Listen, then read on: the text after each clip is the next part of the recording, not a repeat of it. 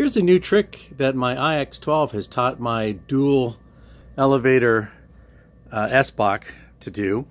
Um, it is set up for dual elevators and uh, single rudder. And um, they work.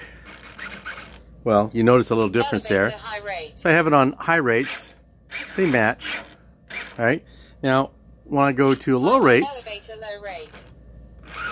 hey, so the right elevator goes low rate, but the left is still in full rates.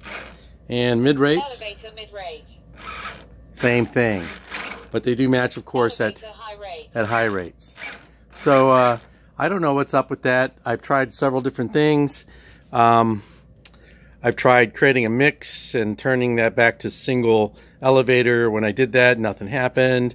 Um, I've tried uh, a whole bunch of different things. I just I can't get it to match, and I'm kind of out of energy right now.